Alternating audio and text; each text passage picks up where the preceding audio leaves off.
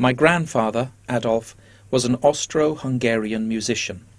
He came to Dublin in 1910 and married a girl from Glasnevin. Their first son, my father, was born on the 1st of January 1914.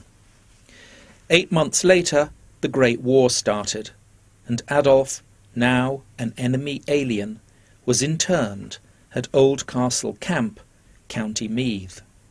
Here, this was one of the few crumbs of family law my father threw me, he became a prolific butter black marketeer.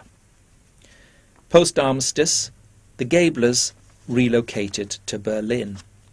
Another crumb from my father. As a child of six or seven, he regularly stole tins of herring from a cannery, and taking the boiling cans to his family, the fish was steamed before sealing. He burned his fingers. Back in Ireland in July 1921, the IRA and the British Army, who'd been at war with one another, agreed to a truce. Negotiations between the Irish and the British followed, which concluded with the Anglo-Irish Treaty, the 6th of December 1921, and the establishment of the Free State in the southern part of Ireland. Northern Ireland had already been established in six of the nine counties comprising Ulster. At some point following these momentous political changes, the Géblers returned to Ireland, first to Waterford, where Adolf worked as an accompanist to silent films, later to Dublin, later still they went to Wolverhampton in the English Midlands, and finally they came back to Dublin again. Adolf was unhappy throughout. No one appreciated him. No one recognized his talent. He grew bitter. He drank. His tongue was sharp, his manners harsh, and his judgments fierce and inflexible.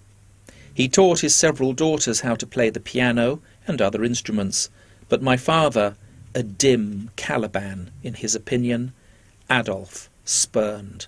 He taught him nothing.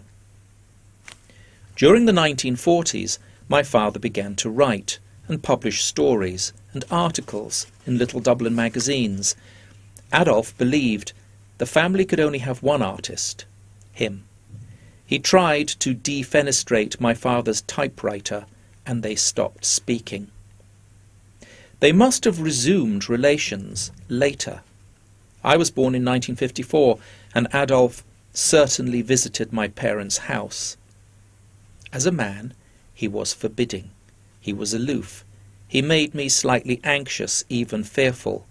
I knew without having to be told that I must not annoy him with noisy, extravagant play or cheek or anything childish.